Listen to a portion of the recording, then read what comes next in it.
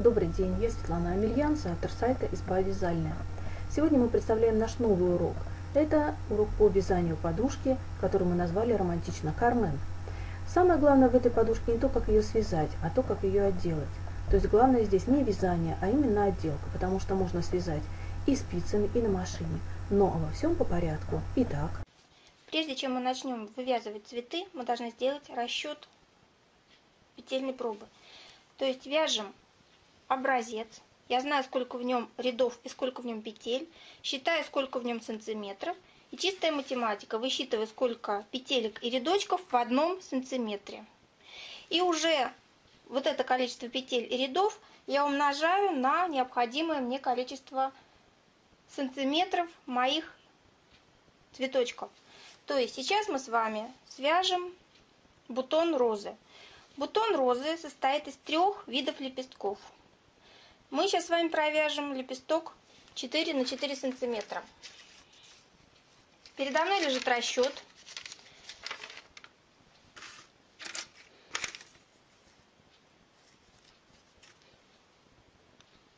Четыре на четыре сантиметра составляют 10 петель, 15 рядов. Я просто беру 10 игл. Удобным мне способом Начинаю вязание. Я делаю обвив. Можно обвивать, можно начинать косичкой, можно начинать на двух фантурах, если вы вяжете там свой, свое начало вязания. Удобный способ. Выставляю плотность, у меня на шестая. И провязываю 15 рядов. Закрепляю краешек, само собой, чтобы нитки не болтались. Раз, два, три, четыре, пять, шесть, семь, восемь, девять, десять, одиннадцать, двенадцать, тринадцать, четырнадцать, пятнадцать. Квадратик 4 на 4. Закрываю вязание тоже удобным способом. Я это делаю косичкой. Самое главное в закрытии петель не перетянуть вязание, наоборот. Верхняя часть должна быть очень рыхлой, потому что иначе у меня цветочек не будет иметь такой рельеф, он будет стянут. Мне нужно, чтобы цветочек был э, имел возможность вывернуться. Для этого верхний край, который я сейчас буду закрывать, должен быть очень свободен. Если сомневаетесь, потренируйтесь. Видите, я закрываю, вытягивая петли на одну длину. Если сомневаетесь, как это делать, Смотрите, сделали петелечку, дотянулись до следующей иглы. Вытянули петлю. Взяли следующую петелечку, дотянулись до следующей иглы. Видите, то же самое расстояние. Следующая петелечка. Дотянулись до следующей иглы. Все петли одного размера. Не торопитесь в этом деле. Если вы не мастера закрывать, делайте, как, э, как я вам показываю. Очень удобный способ ориентироваться на следующую иглу. Дотянулись до нее, закрыли. Очень удобный метод. Не на глазок делается, а на по мерке. Мерка является иголочка. Так, сейчас у меня остается одна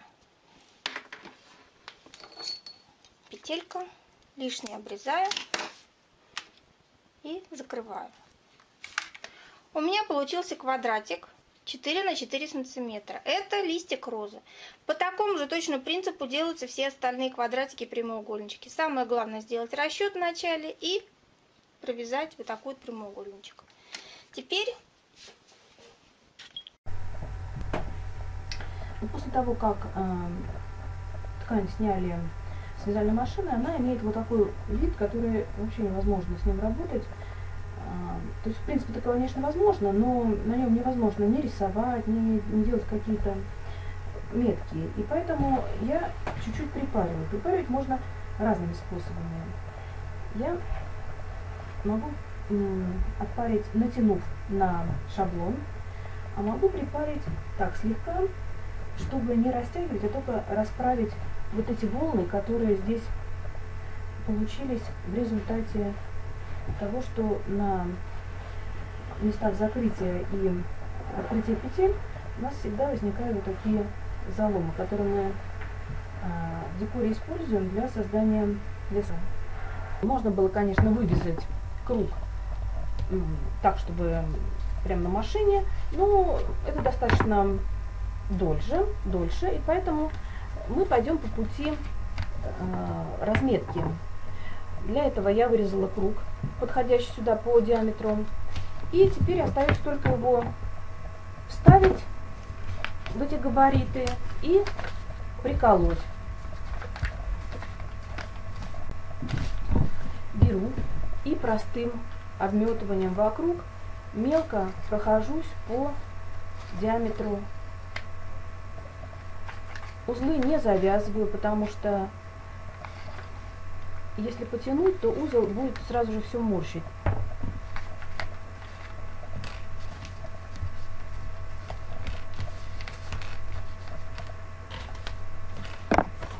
И получился круг. Смотрим, неделю у меня не тянет нигде. Расправляю, чтобы он был свободен, потому что нам понадобится, чтобы было все очень свободненько. Ходим к очень важному этапу, который заключается в том, что нужно каким-то образом основу распялить на пяльцем. Но не так, как обычно это делается, потому что, видите, в пяльце уже тут не, не, не засунуть никаким образом. В пяльце должно войти, то есть мы сделаем имитацию пялец, а для этого мы воспользуемся тем способом, который применяют в, например, в китайской вышивке, когда изделие размещается, э, вышивается на очень тонком шелке, а под э, как бы в пяльце уже заправляется э, менее, менее дорогая ткань, точнее, более дешевая ткань, менее дорогая и более прочная. И поэтому мы используем этот же способ. Я наложу на наше изделие вот такую вот ткань, которая будет у нас выполнять роль э, закладки в пяльце. И я просто накладываю примерно сантиметр от края, пришпиливаю и аккуратно-аккуратно пришиваю. На самом деле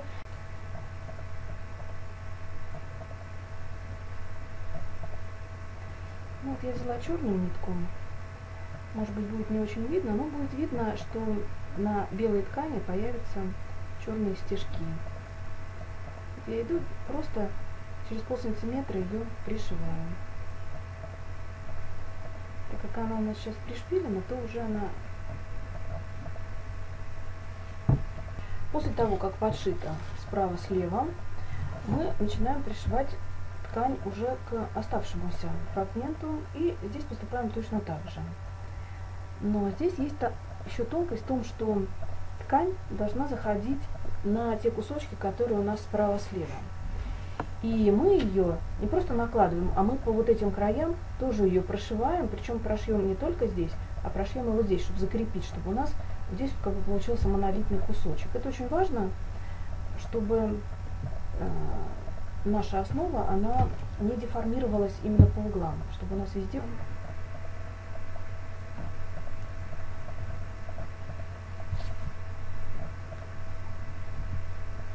здесь дохожу до вот этого угла и понимаю, что у меня под ним находится вот, вот эта полоса, которая вот сюда выходит. И мне ее нужно тоже закрепить, чтобы при натяжении она у меня не повела.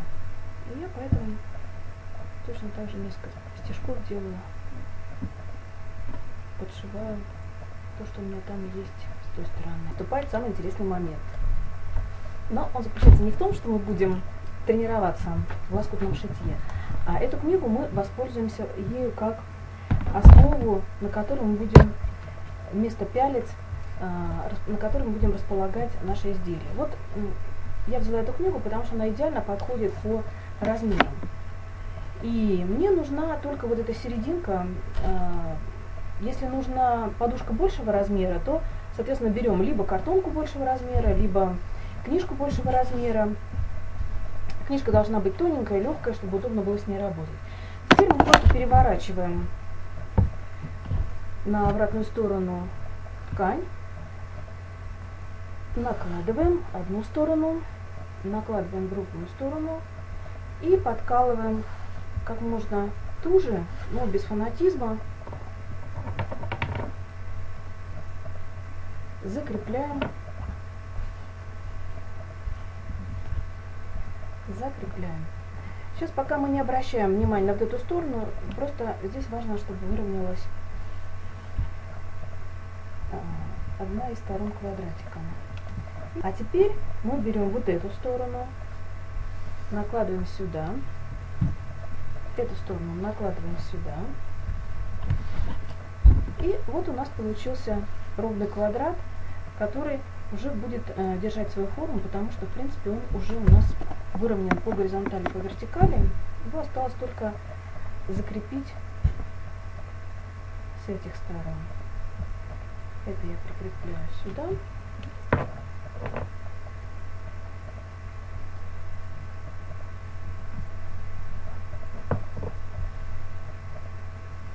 общем, использую способ вот такой, когда бы подтягиваю внутрь себя.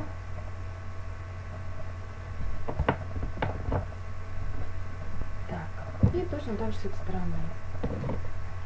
Чтобы лоскуты не болтались, я их вот так вот сложу и затягиваю точно так же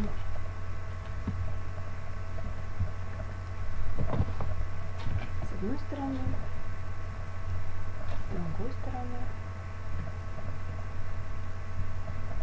Закрепляем иголки, чтобы они не убежали. Вот.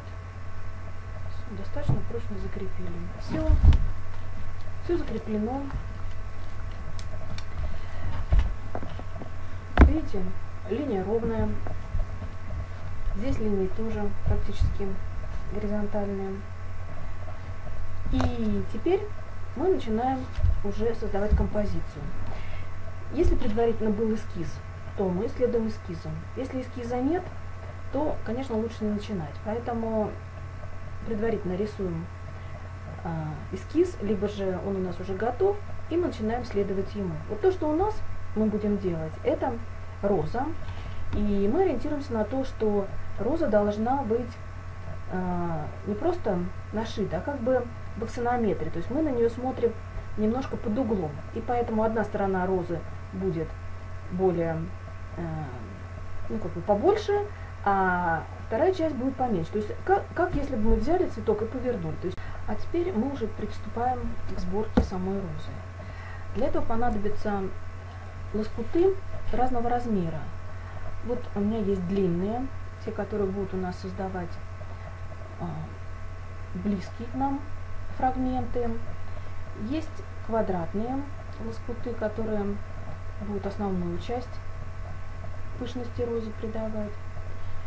Есть такие, как бы скажем, средние, и есть совсем крошечные лилипутки, которые будут у нас серединку имитировать. Поэтому приступаем к созданию от центра. Значит, центр у нас будет чуть ниже, чем центр нашего круга.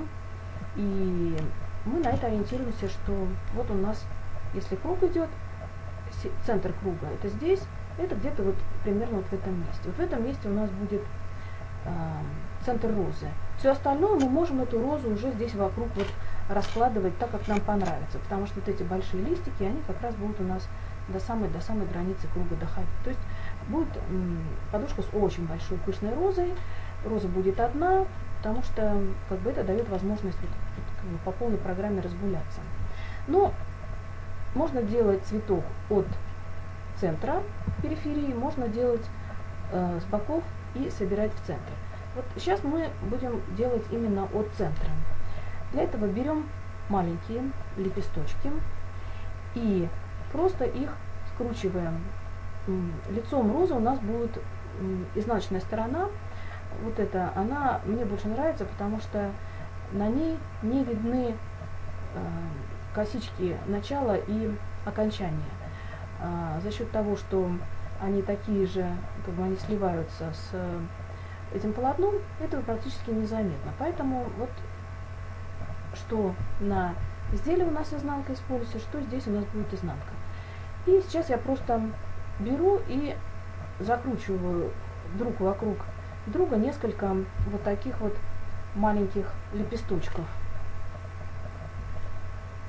Я их просто собираю, ничего с ними сейчас пока не делаю. Делаю в перехлест. Один, другой, чтобы они перекрывали.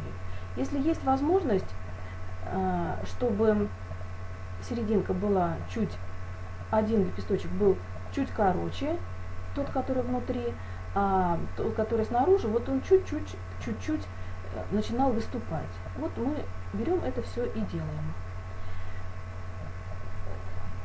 Пока я собираю здесь в руках, потому что иначе будет на ткани очень тяжело все это сымитировать.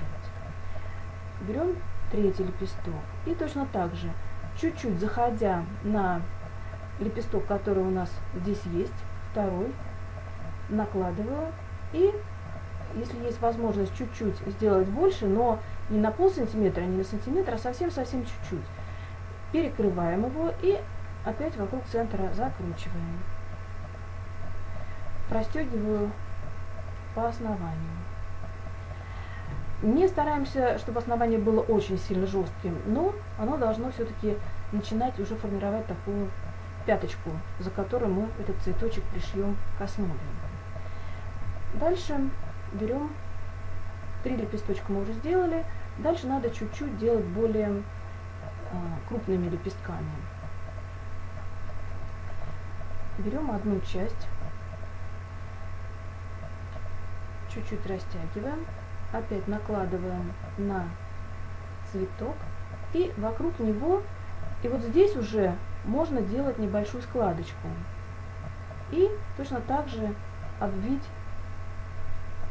этим лепестком все предыдущие, как получится, и закрепить.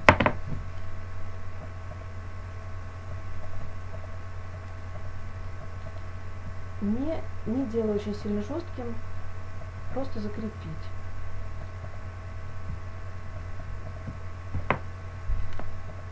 Следующий лепесточек. Точно так же он должен перекрывать предыдущий. Вот у меня предыдущий лепесток. Он его чуть-чуть перекрывает. И с небольшой складочкой заходит на остальные.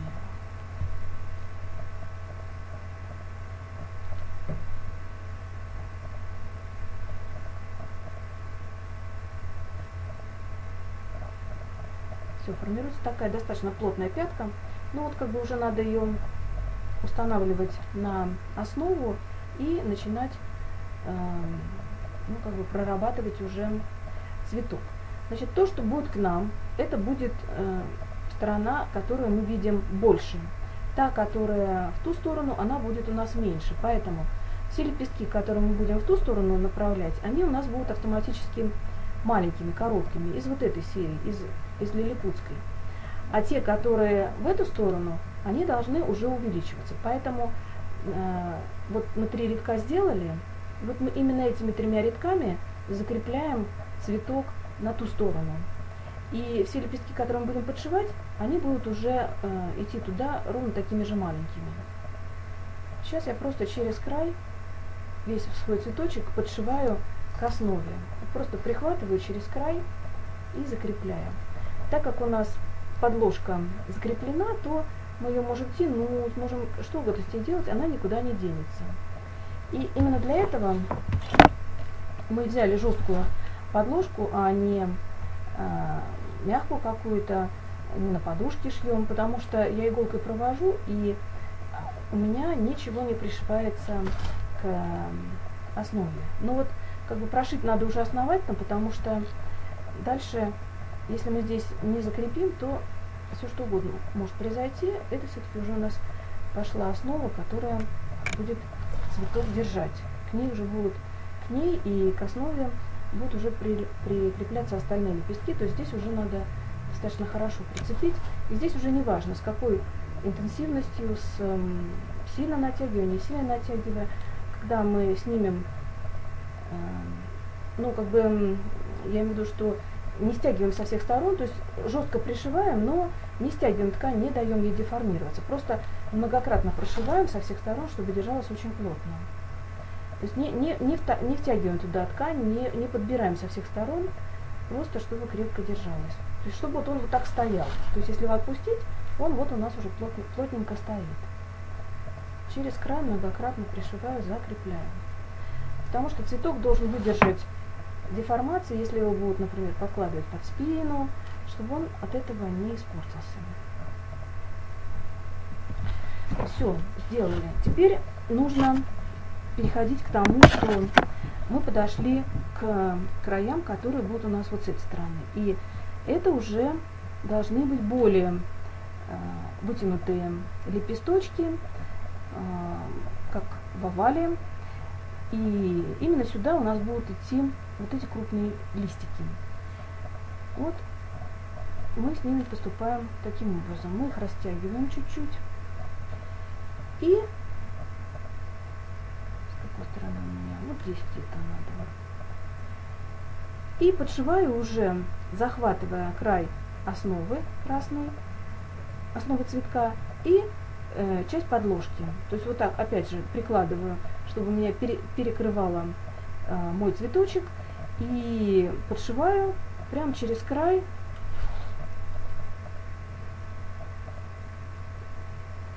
пришиваю прямо к подложке, пришиваю прямо к цветку. То, что он получается лепесток крупнее, чем э, предыдущие лепестки, это не страшно, потому что потом мы его будем загибать, и мы ему придадим ту форму, которая нам понадобится. Ну вот я его прикрепила. Вот он у нас получился такой вот на сантиметр примерно больше. Цветочки, которые ближе к нам, опять же, мы из этой серии берем. Все делаем вертикально. Вот как вот идет вертикальный лепесток, так вот мы его вертикально и пришиваем.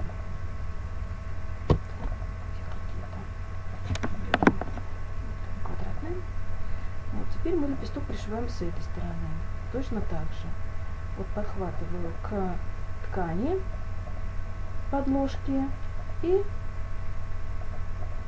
здесь пришиваю к цветку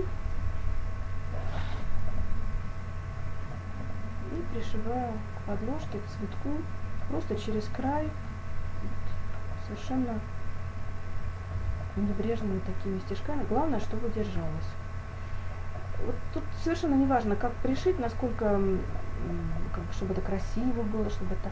Это будет абсолютно не видно здесь.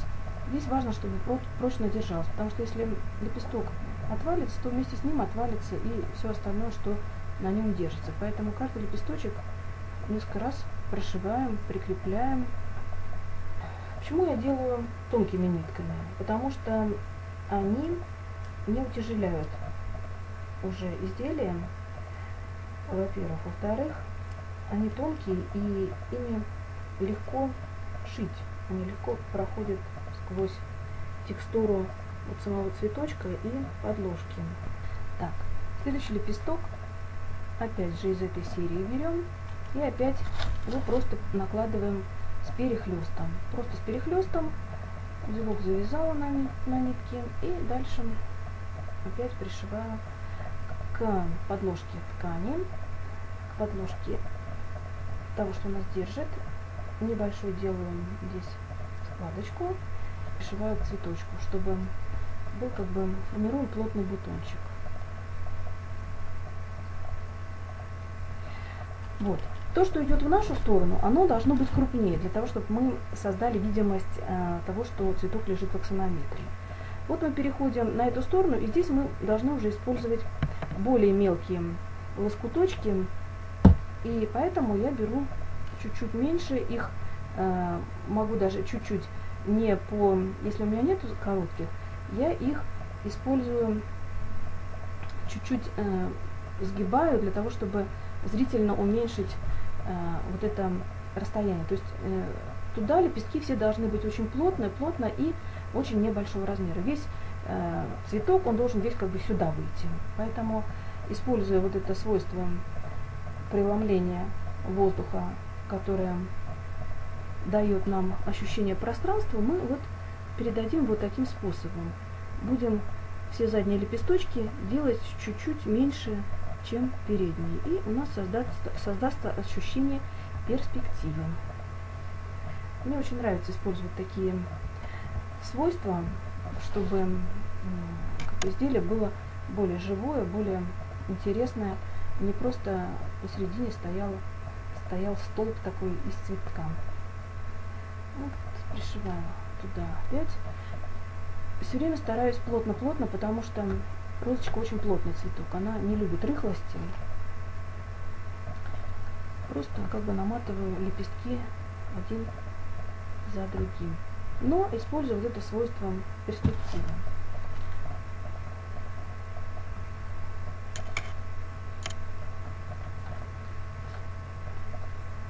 Прикрепим поплотнее, чтобы не отставал. Потом, когда мы будем уже формировать сам, саму чашечку, мы их еще раз многократно подправим, но они все-таки должны уже вот сейчас строиться по этому принципу уменьшения э, цветка в ту сторону. Так, ну выходим сюда. Здесь у нас уже цветки будут больше, лепестки будут большего размера. Большего размера. И сюда накладываем. То есть сюда в овал мы выводим лепестки большего размера. Сейчас вот здесь зацепляем, прикреплю, потом прошью в обе стороны.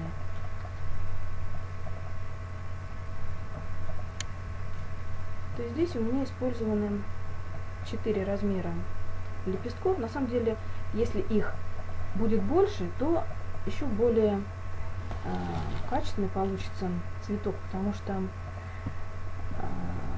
он удастся тогда передать перспективу более, более точно, более правильно. Подхватываю, потом дальше разошли в обе стороны.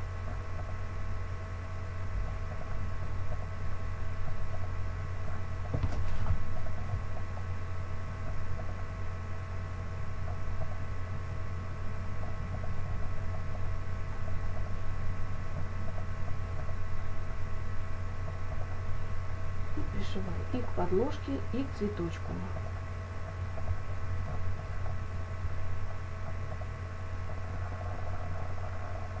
Должна очень прочно держаться, потому что уже э, никаких дополнительных крепежей здесь не будет. Вот то, как мы сейчас пришьем, вот это, вот это уже как бы останется с подушкой навсегда. Это уже как бы, внедриться туда в основание не получится.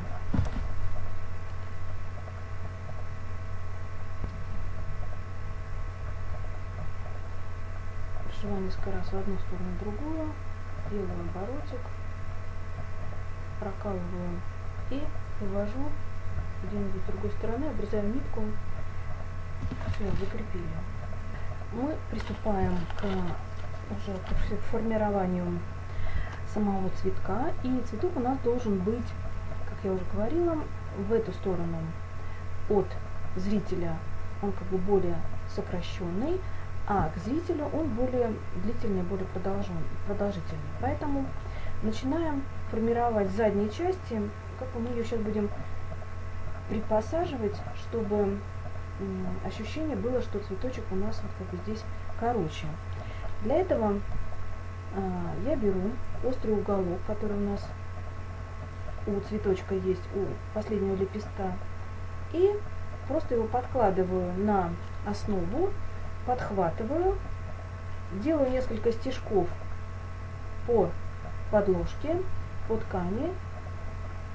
Он у меня закрепился.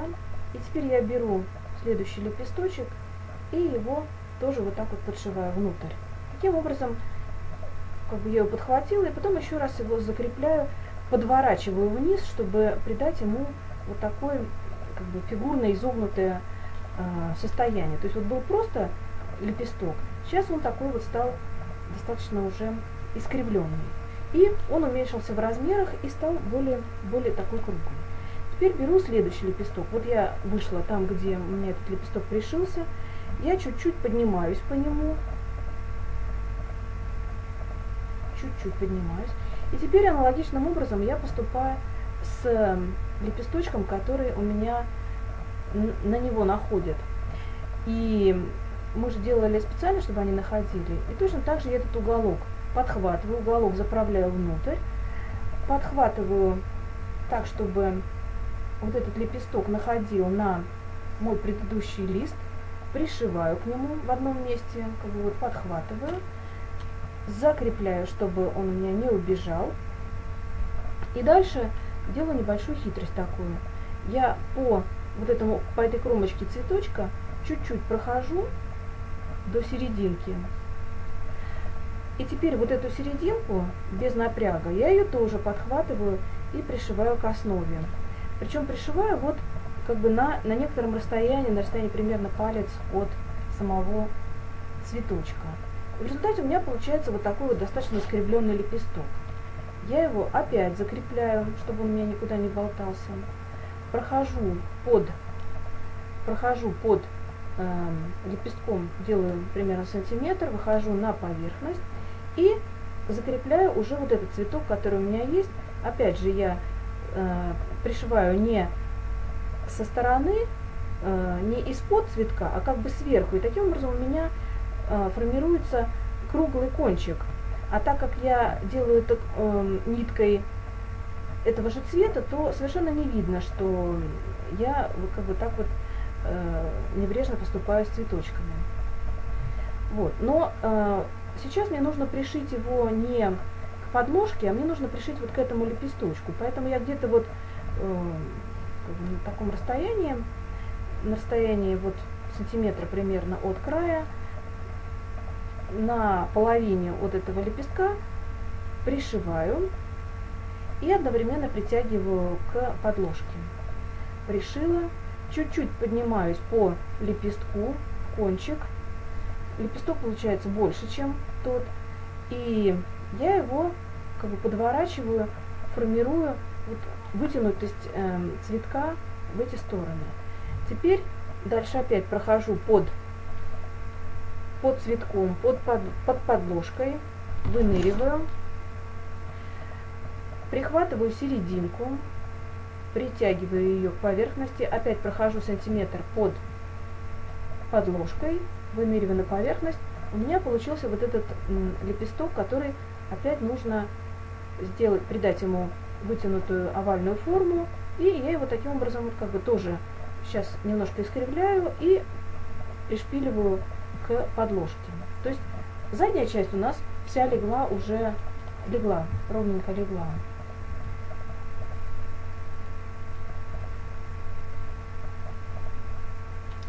Теперь нужно вот с этим цветком разобраться, с этим лепестком разобраться. Он у нас э, как бы должен исходить из-под того цветка. Вот мы его выправляем, тоже начинаем пришивать. Здесь у нас задача стоит вытянуть лепестки э, вдоль вот этой линии. Все, что идет сюда, оно должно сюда более вытянуто быть, как бы э, вот такой вот овал. Та часть относительно центра самая короткая, эта часть длинная, вот эти две части симметричные. Но они сюда идут на увеличение. Поэтому вот я так и формирую цветочек э, по всяческим лепестки у него искривляю, чтобы придать им какой-то такой вот романтический настрой, чтобы они не были плоскими. И поэтому я их искривляю, загибаю, по-всякому по-разному, для того, чтобы вот придать эту живость. Вот получился здесь лепесток. Вот эти лепестки, они должны быть самыми длинными, поэтому я их сюда точно так же выхожу даже чуть-чуть дальше сюда, подхватываю опять снаружи. Все это делается для того, чтобы э, спрятать острые углы, которые у нас были. Прохожу немножко по поверхности. Здесь нужно аккуратно, потому что это такая, можно сказать, самая видимая часть. Делаю небольшое углубление. подхватываю как бы небольшой такой зажимчик и подхватываю с подложкой. Закрепляю, прохожу чуть-чуть и сверху подхватываю лепесток тоже пришиваю его, придаю такую вот его овальную форму, чтобы не видно было, что он у нас острый, что он на самом деле был связан совершенно не круглым. Следующий лепесточек точно так же загибаем. И можно сделать так, чтобы они э, с э, этим лепестком либо соприкасались, либо один был чуть-чуть другого больше. Здесь все зависит от вашей фантазии, потому что чем э, как бы вот он такой растрепанный получается, тем, на мой взгляд, получается симпатичнее, чем если бы он был очень такой аккуратный, весь такой вот ухоженный, как бы весь циркулем выверенный. Мне, мне такие не очень сильно нравятся. Вот так вот мы прошли. Теперь подходим следующий лепесток. Опять ему тем же способом закрепляем. Чуть больше можно сделать, чуть меньше можно сделать. Вся эта сторона должна покрупнее быть сюда, поэтому э, эту часть мы сюда вытягиваем, а следующую часть мы начинаем уже уменьшать. Вот я выныриваю где-то здесь на середине листа, делаю небольшое, небольшое такое углубление, чуть прошиваю, подхватываю поверхности, закрепляю как следует. И решили. Теперь нужно опять войти сверху, чтобы листочек был кругленьким. Следующий лепесток.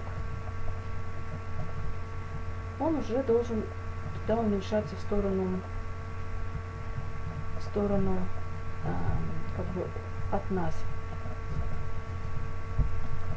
Тянуть нельзя. Опять прокалываю цветок, опять ему придаю какую-то складочку. Причем эти нижние листики, они должны, на них сверху еще будут накладываться другие лепестки, поэтому им важно придать, как бы они могут и быть совершенно плоско лежать, им не нужно даже какие-то э, придавать э, формы. Формы будут задаваться уже лепестками, которые сверху. Вот я прошиваю, все, его тоже подцепляю изнанку наружу, а лицо, лицо, лицом внутрь. То есть э, так же, как мы и делали весь цветок. Вот конус сделали, чуть-чуть его прихватим, чтобы он у нас был не расходящимся. Сильно его прошивать не будем, просто чтобы он не расходился, он такой будет объемный. Кроме того, розочки нужно сделать все-таки чешелистник. Делаю, пришивая просто вот это один из листочков, вот так через край прихватываем второй лепесточек вот здесь.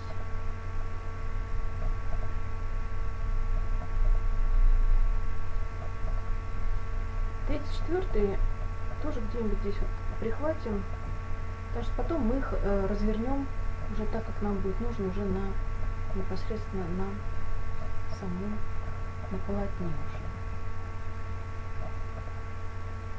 Вот здесь.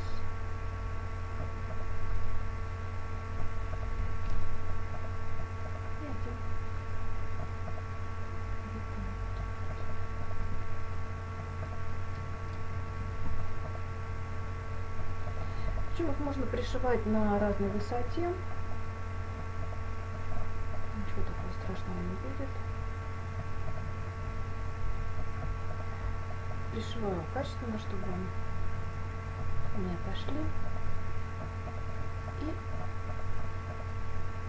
закрепляю ниточку вперед-назад иголкой. Значит, пришивать будем где-нибудь вот так, по, так как у нас круг идет, ну, где-нибудь так вот по кругу и пришьем. Один здесь, второй здесь. А с этой стороны будет у нас а, больше листьев. Поэтому вот просто пришиваю, точно так же, как мы розу пришивали.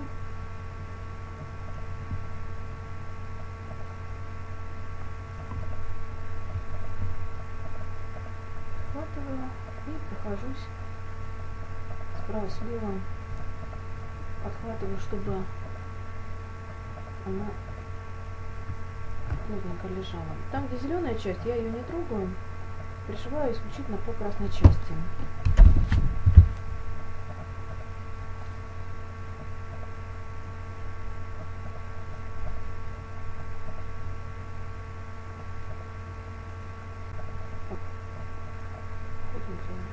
здесь. Все. Лишнее обрезаем.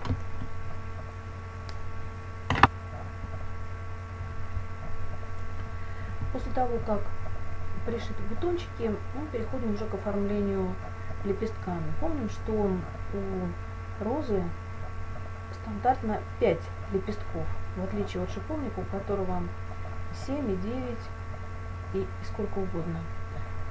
Вот. У розы обычно все-таки по 5 лепестков.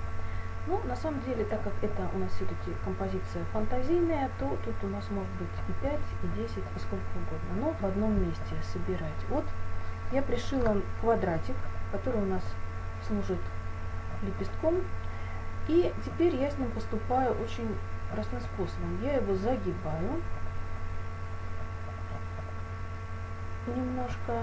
И точно так же, как вы с розой поступали, я поступаю и с ним. И точно так же, как с розой мы поступали, я вывожу иголку с другой стороны, делаю подкол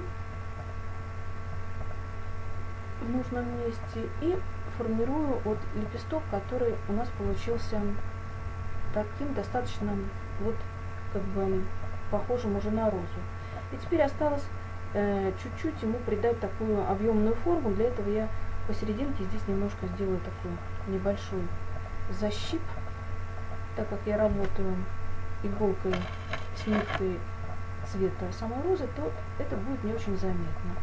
Ну, дальше выхожу уже противоположную сторону. Остается только закрепить ниточку.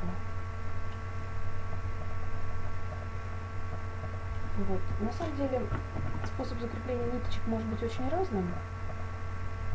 И я не люблю узлы, потому что они видны, даже когда они с обратной стороны, они очень сильно прощупываются. Есть вот такой хороший способ, когда мы уже все сделали, спрятать просто ниточки на обратную сторону. Все. Они ушли, и больше их не видно. Теперь следующий лепесточек точно так же.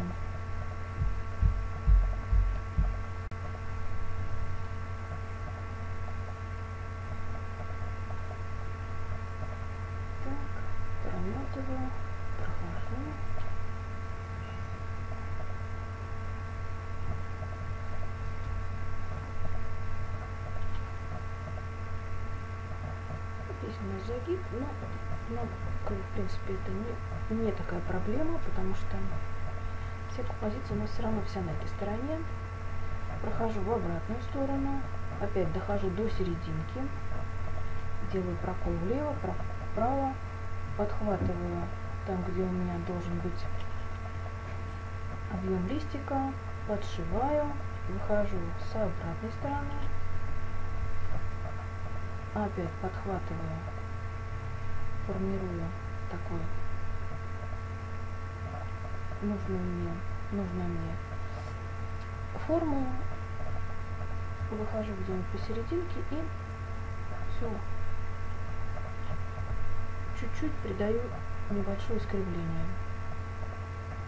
Закрепляю. Все, выхожу в начало листика, связываю его и прячу кончики.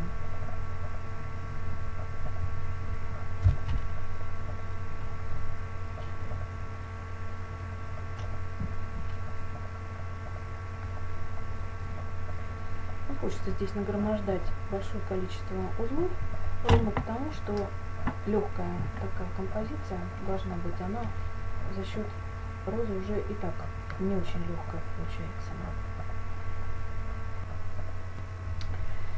есть очень хороший момент, который надо показать. Он заключается в том, что не все листики должны у нас лежать вот как бы отдельно, где-то вот отдельно, прямо вот сами по себе.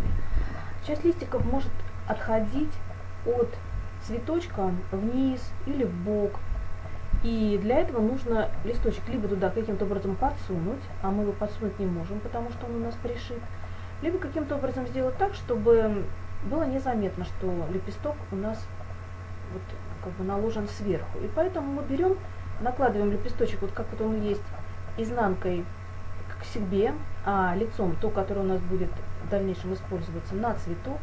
И по краешку, вот там, где у нас кончается этот цветочек, мы проходимся вот так вот иголкой, чтобы вплотную-вплотную к цветку подшить. И тогда получится, что цветок как бы не будет, э, трикотаж он мягкий, будет незаметно, что он наложен сверху. Будет казаться, что он выглядывает из-под цветка. Как бы совсем уж достоверности не будем добиваться, чтобы туда вот его подсунуть или еще что-то сделать.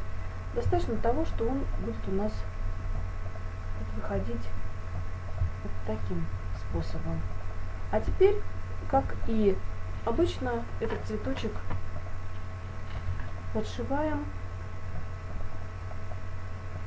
в одну сторону, в другую сторону. Я подошью его сюда, э, изогну, потому что у меня вот здесь вот уже заканчивается кружок, и мне как бы некуда сильно ним тут экспериментировать, поэтому идем вдоль кружка, совсем близко не подходим, потому что там у нас будет пришиваться соединительная полоска, которая будет соединять верх и низ нашей подушечки. Точно так же оформляю все загибы, как и обычно.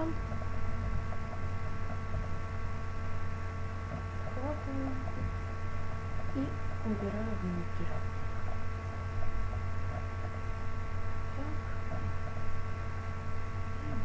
прохожу обратно. И осталось только выйти сюда, где у нас, где у нас и обе ниточки зеленые были. Вот они вышли белой эти нитки. Осталось их только соединить и обрезать лишнее. После того, как композиция закончена, можно сюда добавить что-нибудь белое. А, например, какие-то беленькие цветочки или что-нибудь еще. Но я считаю, что это, в принципе, для подушки, для декоративной будет это избыточно уже.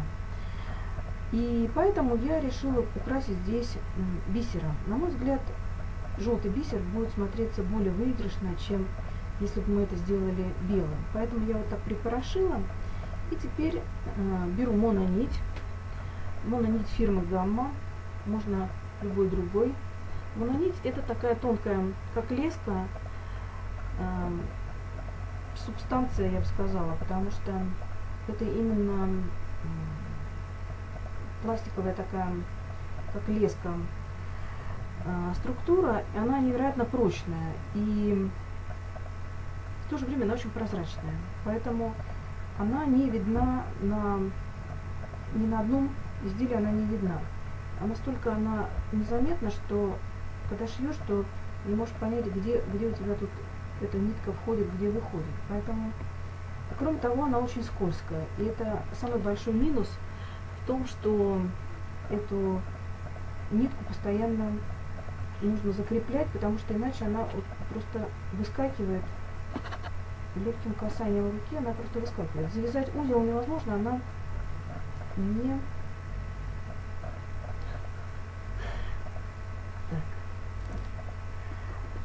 узел завязать невозможно, он развязан. То есть либо лаком нужно прикреплять, либо использовать метод, который я использую. То есть многократного протыкания э, в одном и том же месте с выходом на поверхность. И как вот таким образом мы закрепляем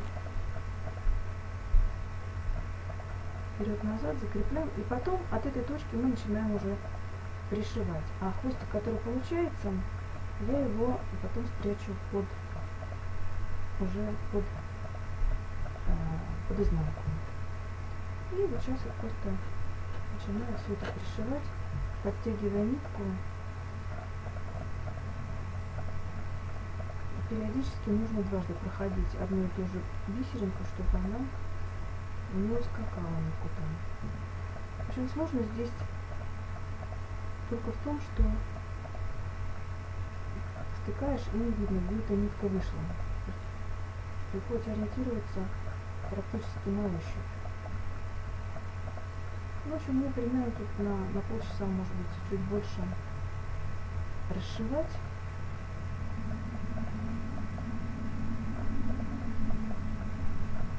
И когда я это сделаю, то я перейду уже к следующему этапу.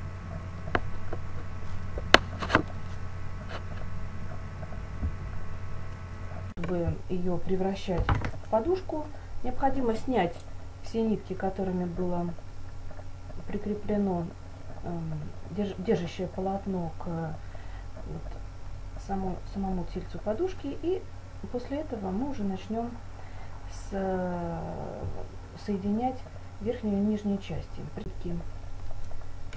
И с ними можно поступать как угодно, потому что они не могут повредить.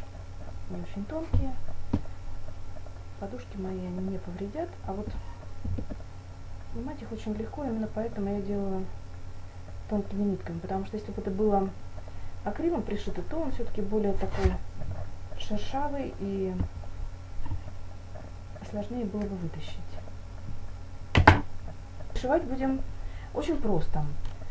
Беру, накладываю так, чтобы бортик начало и окончание, вот это начало, красное это начало, а, косичка здесь это черным. Накладываю рубчик вдоль вот этого контура и просто приметываю. Потом точно так же по контуру все это аккуратно прошиваю. Значит, смотрю, совпало ли у меня после отпарывания, после того, как я отпарила, она стала чуть-чуть больше. То есть, когда буду шить, ну, в принципе, тут на 2 сантиметра. То есть можно чуть-чуть, чуть-чуть, чуть-чуть припосаживать, чуть-чуть рыхлость небольшую дать. Вот после того, как я пришью это, причем пришивать я буду э, изнаночной стороной. Изнаночную сторону накладывать на... Так, предыдущее все вырезать. После того, как мы вырезали, сняли эту, сняли а, с пялец, э, точнее с того приспособления, которое у нас заменяло пяльцем, мы уже начинаем э, готовиться к тому, что сшиваем две части, красную и черную. И между ними будет переходным вот таким э, кантиком, тем как бы связующим звеном, которое придаст подушке такую плоскую форму. Потому что если сделать, просто пришить их по кругу, вот как вот они есть, они будут такие блиноподобные. А, даже небольшой вот такой бортик, он все-таки придаст подушке а, э, ощущение эм, такого, как сказать, оладушка, не блина уже будет, а оладушка. И вот э, накладываю соединительную полоску изнанкой э, на ткань и бортиком, который здесь у нас создан началом петель, я его аккуратненько-аккуратненько вдоль вот этой белой прометочной нити и таким образом закрепляю и потом просто его пришиваю через, через край, э, либо вперед-назад иголкой. В общем, его нужно очень аккуратно пришить, потому что от того, насколько плотно он будет держаться, будет зависеть красота э, вот, соединения вот этих двух половинок. Потому что э, если сделать очень рыхло, нитки будут торчать. Поэтому пришивать буду не знаю, наверное, черными нитками, ну, нужно очень меленько-меленько, аккуратно пришить, чтобы не было видно вот этого места пришивания. Ну, в общем, сейчас наметываю и уже начинаю пришивание. Вот я разложила э, соединительную ленту. Ну, оказалось, что она чуть-чуть на буквально 2 сантиметра больше, чем нужно. Поэтому ее нужно припосадить. А, делать мы это будем очень просто. Сейчас я сошью черную, черной ниткой, она более длинная, сошью вот эти два кусочка, чтобы они у меня превратились в монолит. На самом деле, трикотаж такой материал, который очень трудно рассчитать его размер, тем более, э, если, если отпаривать, то он начинает вести себя уже несколько по-другому. То есть он может растянуться за утюгом. Вот даже здесь видно, что одна часть чуть больше, чем другая. То есть чуть-чуть чуком прижать и уже меняется форма. Поэтому я беру здесь, сшиваю красное с красным, стараюсь, чтобы соединилось, черное с черным. Просто через край вперед-назад иголкой. Соединяю оба конца и достаточно грубо, жестко пришиваю, чтобы не было, э, чтобы не тянулось потому что вот это место соединения, оно такое достаточно значимое для подушки, не должно быть видно вот этого места пришива. Ну, вот смотрим, что получилось. Вот. Соединилось все идеально. А, даже если близко смотреть, видно не будет. То есть за счет жесткости. В некоторых местах жесткость нужна, в некоторых следует ее избегать. Вот этот случай один из тех, где достаточно жесткость нужна.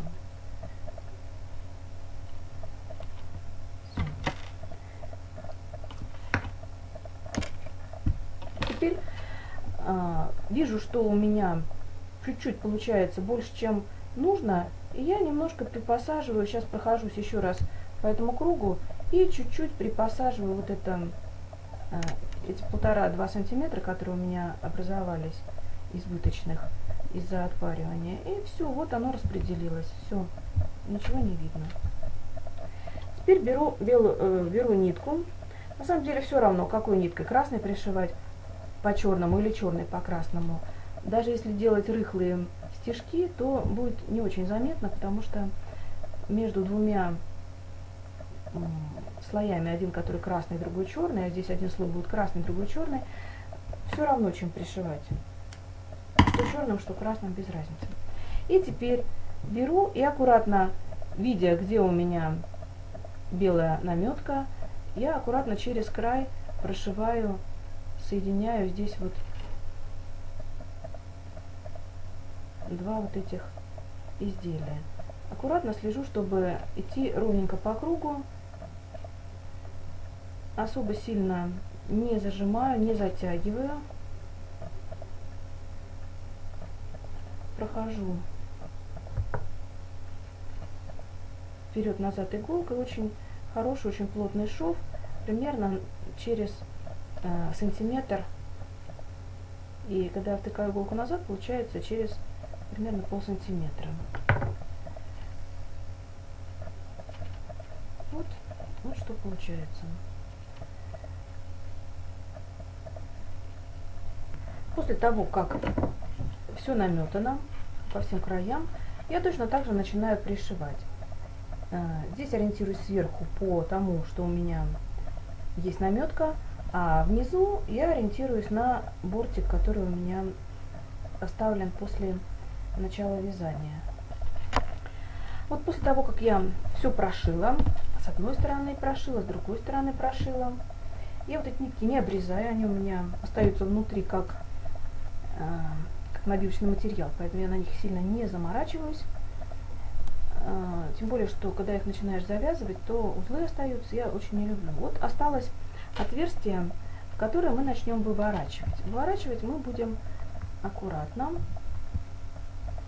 потому что роза получилась достаточно толстая, и ее нужно так вот попытаться вытолкнуть, чтобы она не порвала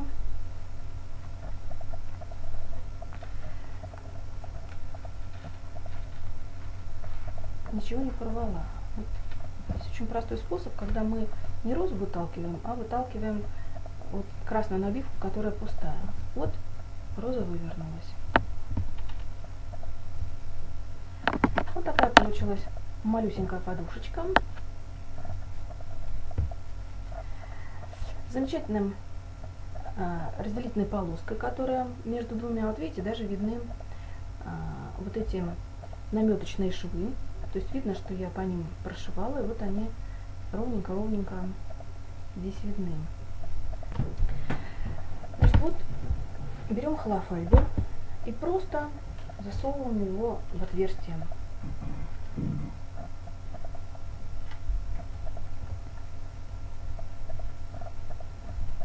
Просто засовываем. И зашивание буду производить э, стандартным способом подгибаю по месту сгиба, по месту отметки вот этой с одной стороны и с другой стороны. И подхватываем справа-слева. Вот у меня сейчас здесь, нужно здесь сделать шажок. Делаю шажок здесь, делаю шажок поверху. И вот из-за того, что я делаю такими маленькими шагами, выводя иголку постоянно наверх, у меня э, шов соединяется без видимых, э, все, все Ну, все.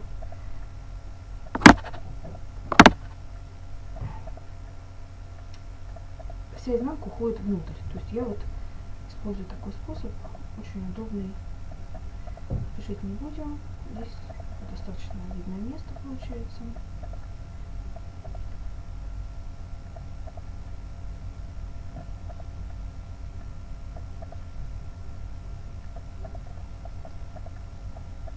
Иду вдоль линии наметки. Здесь уже даже я не делаю вперед-назад, просто зашиваю, прихватывая край с одной стороны, прихватывая край с другой стороны. Все, вот последний стежок и нитка ушла внутрь.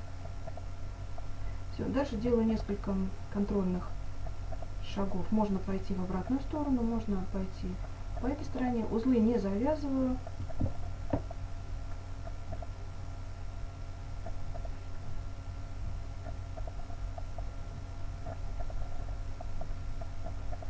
Все, вот таким способом нитка закрепилась, она уже никуда не уйдет. Потому что нагрузки в этом месте нет. Все, вот сделаем несколько, несколько шагов. Потянули ниточку, чтобы расправить. Все, обрезаем. В принципе, вот подушка готова. Осталось только чуть-чуть ее сделать не такой вот... Во-первых, ее надо расправить, потому что как бы, полотно там это шаровое холофайбер, оно распределилось не совсем равномерно, то есть оно такими получилось комочками. Вот. Но мы сделаем способ насквозь. Мы сделаем таким,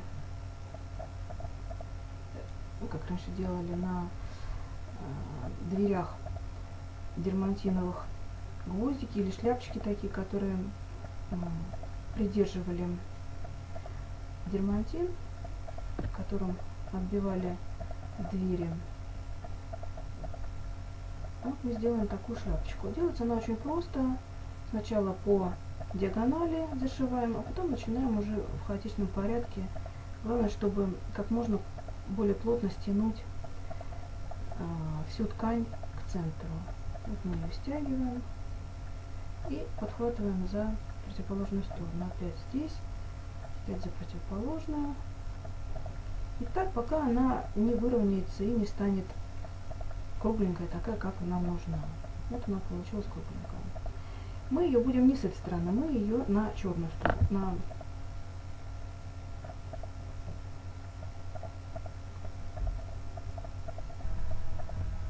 вот он центр.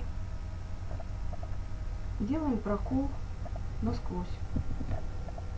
И здесь центр находим.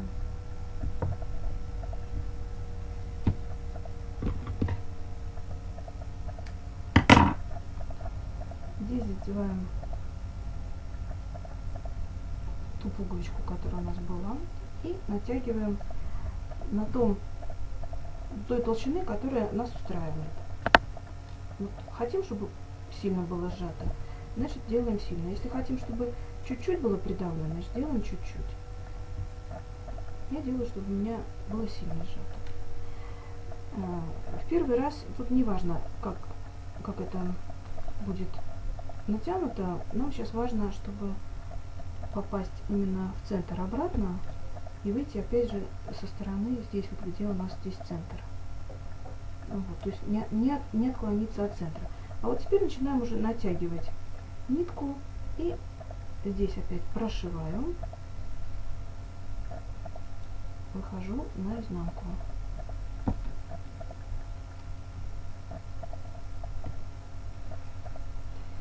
здесь прошиваю насквозь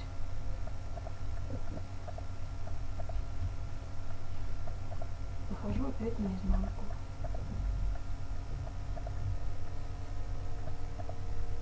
Прошиваю. Прячем нитку внутрь. Все. Подушка готова.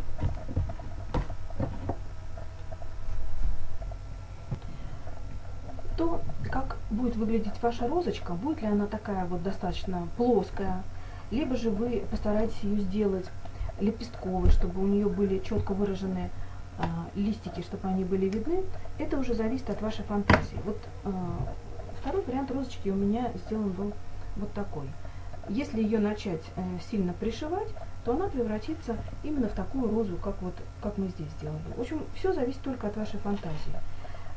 Кому-то больше нравятся такие розочки. Но надо понимать, что если вы на ней будете лежать, то она будет как бы вот сминаться в одну либо в другую сторону. То есть вот э, эта конструкция более, больше подходит для не подушки, а, например, для какого-то э, декоративного панно или что-то там, где это не будет э, сминаться. Например, для шапки или на кофту. То есть на кофте можно как бы так вот подправить, расправить, и все это будет опять примет такую пышную, пышную форму. Постоянно ходить на подушке, подправлять, вряд ли вы будете. Поэтому для, для подушки я сделала вот такую достаточно э, улежавшуюся форму, а для других случаев вы можете делать и другие варианты. Как видите, сделать такую подушку совсем не сложно, нужно только время и желание. Такая подушка может стать хорошим подарком вашим близким. С вами были Светлана Амельян и Наталья Некрасова, авторы сайта «Изба вязания». Заходите к нам на сайт, подписывайтесь на нашу рассылку, нажимайте «Нравится», а также посмотрите, какие подушки можно сделать в технике объемной аппликации.